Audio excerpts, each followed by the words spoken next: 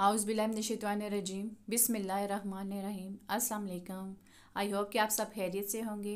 तो आज मैं आपके साथ ड्राई नट्स का और मिल्क हलवा शेयर करूँगी। तो हलवा स्टार्ट करने से पहले मैं आपसे गुजारिश करती हूँ कि अगर अभी तक आपने मेरा चैनल सब्सक्राइब नहीं किया तो प्लीज़ मेरे चैनल को सब्सक्राइब कीजिए और बेल आइकन के बटन को प्रेस कीजिए। तो यहाँ पे मैं ड्राई नट्स और ज़्यादा वॉलनट का जो है वो हलवा बना रही हूँ। तो उसके लिए या मैंने बादाम जो है उनको पाँच से दस मिनट के लिए गर्म पानी में भिगो के रख लिया था और उनके छिलके उतार लिए थे।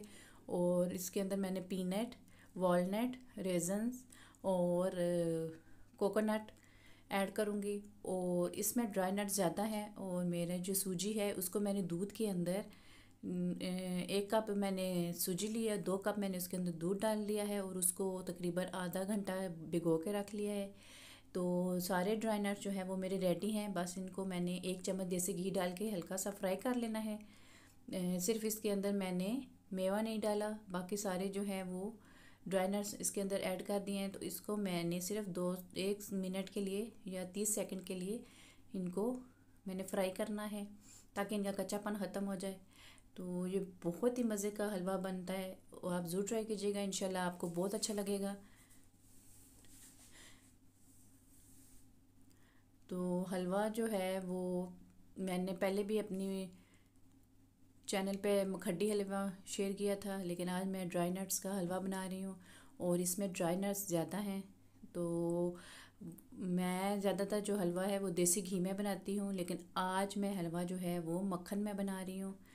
तो इसलिए ड्राई नट्स और दूध वाला हलवा तो आप ज़रूर ट्राई कीजिएगा। इंशाल्लाह आपके घर में सबको बहुत अच्छा लगेगा। तो यहाँ पे मैंने एक बटर की टिक्की ले ली है और उसको भी मेल्ट करती हूँ और इसके अंदर मैं चीनी ऐड कर दूँगी। अगर आपने एक कप सूजी ली है तो उसके अंदर आपने दो कप दूध डालना है और आपने एक कप भरकर, अगर आप मीठा थोड़ा तेज़ खाते हैं तो फुल भरकर आपने चीनी का लेना है एक कप। वही लेना है कप जिससे आपने सूजी को जो है वो मेज़रमेंट किया था। और अगर आप थोड़ा मीठा कम खाते हैं तो हाफ़ कर दें अगर नॉर्मल में खाते हैं तो one and, one third cup जो है आपने इसमें चीनी ऐड करनी है। तो यहाँ पे मैंने चीनी को जो है वो लाइट ब्राउन कर लिया था। ड्राई नट्स मैंने ऑलरेडी ही जो है वो फ्राई करके रख लिए थे। तो दूध वाल, वाली सूजी जो भिगो के रखी थी वो इसके अंदर मैंने ऐड कर दी और इसको मैंने अभी स्लो फ्लेम पे इतना पकाया कि इसका जो दूध है वो खुश्क हो चुका है। और अभी इसके अंदर मैं केवड़ा वाटर और रोज़ वाटर का एक एक ढक्कन ऐड करूँगी या आप वन टेबल स्पून इसमें केवड़ा वाटर या केवड़ा एसेंस डाल सकते हैं। तो मैंने केवड़ा वाटर डाला है इसके अंदर। और साथ ही इसके अंदर मैं rose syrup, sorry rose water add करूँगी। तो यहाँ पे मुझे तकरीबन इसको पकाते हुए पंद्रह से बीस मिनट हो चुके हैं और स्लो फ्लेम पे बिल्कुल पकाया है क्योंकि अगर फ्लेम हाई की तो ये नीचे से जो है वो जलना स्टार्ट हो जाएगा। और जैसे ही मुझे लग रहा था कि ये अभी पकने के बिल्कुल करीब आ चुका है तो इसके अंदर मैंने जितने भी वो फ्राई किए हुए ड्राई नट्स हैं वो सारे इसके अंदर ऐड कर दिए हैं। तो अभी इसको मैं तकरीबन पाँच मिनट और पकाऊँगी और सबसे मुश्किल काम इसका चम्मच हिलाना होता है। तो बस इसलिए मैंने आज को स्लो रखा है ताकि वीडियो बनाने में मुश्किल ना हो, वो चम्मच हिलाने में भी जो है वो मुझे दिक्कत ना आए। तो यहाँ पे तकरीबन जो है वो मेरा हलवा तैयार हो चुका है ड्राई नट्स और दूध वाला हलवा। और आप यकीन जानिए कि ये बहुत ही मज़े का बना था।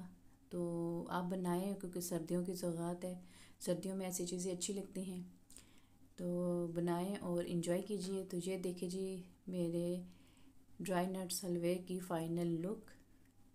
तो आई होप कि आपको अच्छी लगी होगी मेरी ये वीडियो। तो अगर आपको मेरी ये वीडियो अच्छी लगी है तो प्लीज़ मेरे चैनल को सब्सक्राइब कीजिएगा और बेल आइकन के बटन को प्रेस कीजिएगा। तो आप बनाएँ और गरम गरम चाय के साथ खुद भी खाएँ और घर वालों को भी खिलाएँ।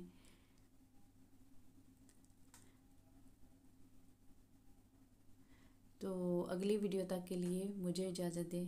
अल्लाह हाफिज़।